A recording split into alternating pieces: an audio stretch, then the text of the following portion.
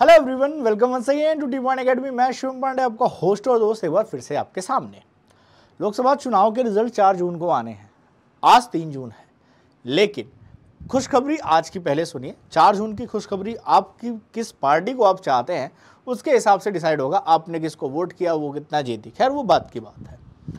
India GDP growth jumps to 8.2 percent in F financial year 2024 ध्यान से समझेंगे, आप क्लास नाइन टेंथ के स्टूडेंट हैं इलेवन ट्वेल्थ के हैं कॉमर्स के हैं मैथ्स के हैं, या आप पेरेंट्स हैं, या आप जॉब करने वाले हैं, या आप किसी भी एज के ध्यान से समझेंगे, सरल शब्दों में मैं आपको समझाऊँगा कि ओवरऑल इसका क्या फ़ायदा है, क्या ग्रोथ हुई है, क्या नहीं हुई है। ठीक है? तो ये कह रहा है कि इंडिया की ग्रोथ 2024 के फाइनेंशियल ईयर में 8.2 परसेंट जी ग्रोथ है। Gross domestic product gross domestic product होता क्या? ग्रॉस डोमेस्टिक प्रोडक्ट का मतलब होता है कि इंडिया में एक अप्रैल 2023 से लेके एक मार्च 31 मार्च 2024 तक। जितने भी गुड्स और सर्विसेज़, जैसे मान लीजिए केवल कॉपी और कलम को आप ले लें कि कॉपी और पेन है, ठीक है? तो जितनी भी कॉपी और पेन, चाहे वो इंडियन कंपनी हो या फॉरेन कंपनी हो, जितने रुपए की कीमत की चीज़ें प्रोड्यूस की होंगी, बनी होंगी, जितनी भी चीज़ जितनी भी कीमत की चीज़ें क्या होंगी? बनी होंगी प्रोड्यूस हुई होंगी। उन सभी की कीमत को जोड़ के हम क्या बनाते हैं? जीडीपी बनाते हैं। इसमें चाहे बाहरी कंपनी हो या इंडियन कंपनी हो, जितना माल बनाया है, उन सब की कीमतों को जोड़ा जाता है। उसे कहते हैं जीडीपी इसका मतलब प्रोडक्शन बढ़ रहा है इकोनॉमी बढ़ रही है। ठीक है? तो वो आठ दशमलव दो परसेंट पे जाके रुकी है। तो जीडीपी का मोटी मोटा ये हिसाब होता है, बाकी डिटेलिंग में आपको कभी और समझाएँगे जब कॉमर्स पढ़ाएँगे। द इकोनॉमिक्स टाइम्स की न्यूज़ बताती है India quarter four GDP live updates, उसको हम नेक्स्ट स्लाइड में पढ़ेंगे। क्वार्टर फोर क्या होता है? देखिए, बारह महीने होते हैं, तीन महीने थ्री मंथ्स के क्वार्टर में बांटा जाता है। क्या किया जाता है? थ्री मंथ्स के क्वार्टर में बांटा जाता है। तो जब क्वार्टर फोर की बात करेंगे तो आप जनवरी फेबरी और मार्च की बात करेंगे, क्योंकि एक अप्रैल से नया फाइनेंशियल ईयर क्या होगा? लग जाता है। ठीक है? और real GDP estimated to grow point two percent in F Y twenty four against the seven percent तो लास्ट टाइम 2023 में बाईस तेईस की जो हमारी जीडीपी ग्रोथ थी, वो कितनी थी? सेवन परसेंट थी। और वहीं तेईस चौबीस की कितनी है? एट पॉइंट टू परसेंट है। यहाँ एक वर्ड मेंशन किया गया है रियल जीडीपी मैं आपको वैसे तो बता दूँ जीडीपी के भी कई टाइप होते हैं। अलग अलग आंकड़े सरकार निकलती है। ये कौन देता है? एनएसओ नेशनल सर्वे ऑर्गेनाइजेशन जो सरकार का डिपार्टमेंट है, वो ये डेटा प्रोवाइड करता है। पहले याद रखिएगा। तो ये डेटा एन प्रोवाइड करती है। एनएसएसओ या एन एस होगा national survey organisation of India ठीक है, जो भी है, वहाँ थोड़ा सा गलत होगा तो देख लीजिएगा। अब रियल जीडीपी का मतलब देखो यार, कि आप कैसे कंपैरिजन करोगे कि आप बढ़े हो, घटे हो? उसके लिए कोई बेस ईयर तो चाहिए। किसी तो कांस्टेंट प्राइस हमारे यहाँ अगर देखा जाए तो कांस्टेंट प्राइस जो लास्ट सर्वे हुआ था, वो 2011-12 में हुआ था। तो 2011-12 के बेस प्राइस से इसको कंपेयर किया जाता है, याद रखिएगा 2011-12 में वस्तुओं के जो मूल्य थे, उससे इसको कंपेयर किया जाता है। क्योंकि अगर मुझे अपने आप को कंपेयर करना है तो मैं किसी पर्सन को स्टैंडर्ड मानूँगा कि मुझे इससे आगे जाना है या इतने नब्बे मार्क्स हैं, मुझे पंचानवे लाने हैं। तभी तो मैं कंपेयर करूँगा कि हाँ मेरे को इतने परसेंट की ग्रोथ हुई। उसी तरह से 2011-12 में जब भी रियल जीडीपी बोला जाए तो 11-12 में जो प्राइसेस थे आप कहेंगे, सर 11-12 में तो बहुत सस्ते थे। तो जी हाँ हमेशा जीडीपी उसी से मेजर की जाएगी। अब जब तक अगला बेंच मार्क ना सेट किया जाए कि नया बेस ईयर लिया जाएगा, फिर उससे कंपेरिजन किया जाएगा। फ़िलहाल ग्यारह बारह से किया जाता है। तो क्वार्टर फोर जनवरी, फरवरी और मार्च में 7.8 परसेंट की ग्रोथ रही। केवल तीन महीने की बात करें, जब क्वार्टर फोर की बात करें तो 7.8 परसेंट की ग्रोथ दिखाई है। वहीं C N B C T V eighteen polls के अकॉर्डिंग इन्होंने अज्यूम किया था कि 6.7 परसेंट की ग्रोथ क्वार्टर फोर में देखने को मिल सकती है। उस हिसाब से अगर आप देखें तो पूरे 1.1 परसेंट उनके अजम्पन से ज़्यादा ग्रोथ हमें देखने को मिली है।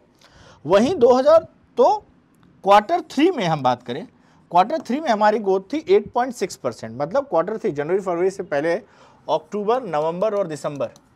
क्वार्टर थ्री, क्वार्टर फोर से भी बढ़िया था। क्वार्टर थ्री, क्वार्टर फोर से भी बढ़िया था।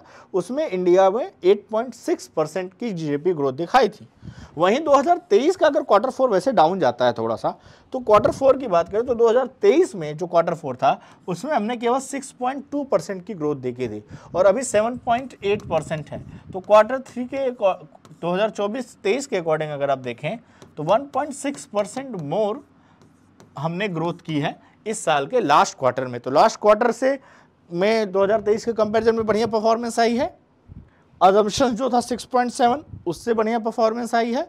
तो सारी एजम्पन्स को हटाते हुए हमारी मार्केट ने इंडियन इकोनॉमी ने बूम किया है। क्लियर है? यहाँ तक तो कोई डाउट हो तो कमेंट बॉक्स में ज़रूर मेंशन करें। अब इसको और डिटेल में जानते हैं। जब हम पूरे 2024 की जीडीपी की बात करेंगे ओवरऑल एक अप्रैल 2023 से इकतीस मार्च 2024 तक तो एट दशमलव दो परसेंट की है। वहीं पे सीएनबीसी ने ओवरऑल क्या प्रेडिक्ट किया था? 7.8 परसेंट मतलब पोल से 0.4 परसेंट ज़्यादा। तो प्रडिक्शन से ज़्यादा ले आना अच्छी बात होती है। जब लोग कोई प्रोडिक्ट करते हैं तो थोड़ा कम हो जाता है। लेकिन अगर जीडीपी उससे ज़्यादा आ रही है देखिए लगभग में सबका सपना होता है डबल डिजिट ग्रोथ क्या होता है? डबल डिजिट ग्रोथ सबका सपना होता है। अब डबल डिजिट की growth in GDP is not a easy task China से लेके सभी लोग बहुत अच्छा ट्राई कर रहे हैं कि हम डबल डिजिट में मतलब 10 परसेंट, ग्यारह परसेंट पे क्लोज करें। ठीक है? बट अभी नहीं। तो पिछले लास्ट साल हमने कितनी पे क्लोज की थी?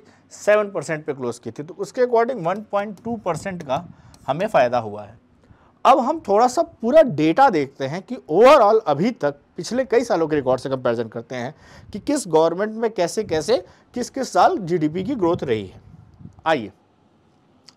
Annual GDP estimate in R S lakh crore and growth rate in percentage as constant price constant price का मतलब यहाँ हम बात कर रहे हैं रियल जीडीपी की। और कांस्टेंट प्राइस क्या लेंगे? बेस ईयर क्या लेंगे हम? बेस ईयर लेंगे 2011-12 याद रखिएगा, जब भी आपसे कांस्टेंट प्राइस बोला जाए 2012-13 जीडीपी ग्रोथ 5.5 तेरह चौदह सिक्स पॉइंट फोर चौदह पंद्रह सेवन पॉइंट फोर देन हम पंद्रह सोलह में आठ गए, फिर सोलह सत्रह में एट पॉइंट थ्री गए। सत्रह अट्ठारह में गिरावट आती है, उससे भी ज़्यादा डाउनफॉल जाता है एटीन नाइनटीन में। नाइनटीन ट्वेंटी और twenty twenty one nineteen twenty ये कोविड का ड्यूरेशन है। कोविड है, ये देखिए नाइनटीन ट्वेंटी ये पूरा कोविड का ड्यूरेशन है तो थ्री पॉइंट नाइन पे धड़ाम से आए और उसके बाद हम माइनस में चले गए। हम कहाँ चले गए? 2020-21 में माइनस पे चले गए, लेकिन फिर कोविड जैसे पैंडमिक से हम बाहर आए अपने आप को लेके और फिर हमने 2020-21 में अच्छी पॉलिसीज़ की बदौलत 9.7 आप सोचो ना, कोविड के जस्ट बाद 9.7 यार ये बहुत बड़ी बात होती है। फिर उसमें थोड़ी गिरावट आई 2022-23 में। हम सात परसेंट पे आए मार्केट के फ्लक्चुएशन के अकॉर्डिंग और इस बार हमने किस पे क्लोज किया है? 8.2 पे। ठीक है? तो इस तरह से हमने अपना ये पूरा का पूरा जीडीपी ग्रोथ और जीडीपी लेवल तो ये जीडीपी के लेवल को दिखाता है और ये ब्राउन कलर जीडीपी के ग्रोथ को दिखाता है। तो अप एंड डाउन के साथ हम ये कह सकते हैं कि हमारा फाइनेंशियल ईयर 2023-24 अच्छे पॉजिटिव पॉइंट के साथ क्लोज हुआ है। कोशिश करेंगे 2024-25 डबल डिजिट का सपना लेके आए जो भी सरकार आए उसकी पॉलिसीज़ अच्छी हों जनता में एक अलग जुनून आए हम और अच्छी मेहनत करें अपने देश के लिए कुछ ऐसा काम करें सेक्ट, हर सेक्टर्स में बूम लाएँ। अच्छा सेक्टर की बात करते हैं तो देखते हैं सेक्टर वाइज किसका क्या कंट्रीब्यूशन है। ठीक है? जैसे ये देखिए provision estimate of annual GDP 2023-24 expenditure component base price 2011-12 2022-23 2023-24 और प्रीवियस ईयर से आप इसमें कंपैरिजन कर सकते हो और बीस इक्कीस का भी डेटा दिया हुआ है। जीडीपी जो थी, वो पहले या, आप देख सकते हैं ये डेटा है, फिर 160 पे जाती है, अब 173 पे चली जाती है। तो ग्रोथ कंसिस्टेंट देखने को मिल रही है और ये जो परसेंटेज में चेंज है, ठीक है? अच्छा एनडीपी क्या होता है? नेट डोमेस्टिक प्रोडक्ट होता है। इसमें क्या करते हैं? जितनी भी इंडियन कंपनी होती हैं, जो इंडियन कंपनी बनाती हैं, ठीक है? इंडियन कंपनीज़ हो और वो चाहे इंडिया में हो या विदेश में हो, उन सभी को ऐड करते हैं और बाहरी कंपनियों के प्रोडक्ट को माइनस करते हैं तो एनडीपी निकलता है। जीडीपी में बाहरी हो या अंदरी हो दोनों को इंक्लूड किया जाता है। बस इतना सा फ़र्क जानिएगा, ठीक है? एक्सपोर्ट इंपोर्ट में भी आप देखिए उतार चढ़ाव आपको देखने को साफ़ साफ़ दिख जाएँगे। जीडीपी का टोटल देता फिर वही है। तो इन सारी चीज़ों को ऐड किया जाता मैं ये सारे टर्म आपको एक्सप्लेन नहीं करूँगा। उतना समझ में नहीं आएगा। मतलब उस तरह की तैयारी और इकोनॉमिक्स की अच्छी नॉलेज हो तो आपको ये समझ में आएगा। बट मोटी मोटा इस तरह से चार्ट प्रिपेयर किया जाता है। और लास्ट में इसको ऐड करके यहाँ पर दिखाया गया है। तो हम इस मुकाम पर पहुँचे हैं। ठीक है? सेक्टर वाइज ग्रोथ की बात करते हैं तो देखिए। पब्लिक एडमिनिस्ट्रेशन और डिफेंस में 15 परसेंट की ग्रोथ 15 परसेंट का कंट्रीब्यूशन है। ग्रोथ नहीं है कंट्रीब्यूशन है सॉरी ठीक है? तो ये कंट्रीब्यूशन है कि कितने कितने परसेंट का कंट्रीब्यूशन कौन कौन सा सेक्टर करता है।